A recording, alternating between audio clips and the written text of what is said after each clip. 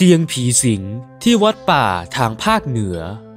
เรื่องเล่านี้เกิดขึ้นเมื่อประมาณ 10 กว่าปีที่ผ่านมา เกิดขึ้นที่วัดป่าแห่งหนึ่ง ซึ่งเป็นวัดโบราณตั้งแต่สมัยพระนเรศวรมหาราช มีการนำศพจากเฉลยศึกมาฝังและเผาที่วัดแห่งนี้อย่างมากมาย และมีป่าช้า ที่ในวัด ซึ่งปัจจุบันป่าช้าก็กลายเป็นที่ปลูกอาคารที่พักของแม่ชี และโยมผู้หญิงที่เข้ามาปฏิบัติธรรม ปัจจุบันที่วัดได้มีการปรับปรุงดูแลอย่างดี และกลายเป็นวัดป่าที่มีชื่อเสียง มีผู้เดินทางมาปฏิบัติธรรมมากมาย ทั้งวันพระและวันธรรมดา รวมทั้งคุณยายที่ท่านได้ไปบวชชี และถือศีลปฏิบัติที่วัดแห่งนี้ด้วยเป็นประจำมีครั้งหนึ่ง ขณะที่คุณยายครองผ้าขาวบวชชี อยู่ที่วัดแห่งนี้ ก็ได้มีเรื่องราวเกิดขึ้นมากมาย วันหนึ่ง ทางวัดได้จัดงานขอดโบสถ์ตามปกติแล้วก็จะมีญาติโยมเดินทางมาล่วงหน้า และพักที่วัดป่านี้มากมาย วันนั้นก็เช่นเดียวกัน มีผู้หญิงคนหนึ่งจะมาทำบุญขอดโบสถ์เธอเดินทางมาจากจังหวัดหนึ่ง ทางอีสาน ซึ่งอยู่ไกลมากจึงเดินทางมาล่วงหน้า และได้มานอนที่วัดป่า ซึ่งที่นั้นจะเป็นห้องพักหนึ่ง อยู่บนชั้นสองของอาคารหอพักยาวที่มีอยู่หลายห้องหญิงคนนั้นก็ได้เตียงนอนอยู่เตียงหนึ่งที่อยู่ในห้องหนึ่ง ซึ่งเป็นหนึ่งในเตียงอีกหลาย ๆ เตียง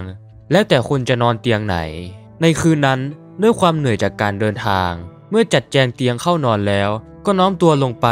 จะเอนกายนอนก็เหมือนมีใครมาผลักให้ลงไปจากเตียง พอจะขึ้นไปอีก ก็เหมือนมีมือมาผลักลงเตียงอีก จนคืนนั้นยื้อแย่งเตียงนั้นกันอยู่นาน เธอก็มองเห็นผู้ชายคนหนึ่ง นั่งอยู่ที่เตียงเป็นผ้าลางๆ พอให้รู้ว่าเป็นผู้ชายแก่ๆตัวใหญ่ ๆ วันนั้นผู้หญิงคนนั้นจึงได้นอนตรงบนพื้น เพราะขึ้นไปนอนบนเตียงไม่ได้เลย เช้าวันต่อมาเมื่อช่วงทำพิธีบุญขอดโบสถ์อยู่นั้น หญิงผู้นั้น จึงสอบถามญาติโยมและพระที่ท่านอยู่เก่าแก่ในวัดแห่งนั้น ก็ได้ความว่า ผู้ชายที่มาห่วงเตียงนั้นเป็นเจ้าของเตียงเก่าที่เสียชีวิตไปแล้ว เมื่อก่อนชายผู้นั้นลูกหลานได้จัดเตรียมเตียงนั้น เพื่อให้ท่านนอนพักที่บ้านและในห้องนอนของท่าน จนกระทั่งท่านป่วยหนักและตายไปบนเตียงนี้ เมื่อเวลาผ่านไป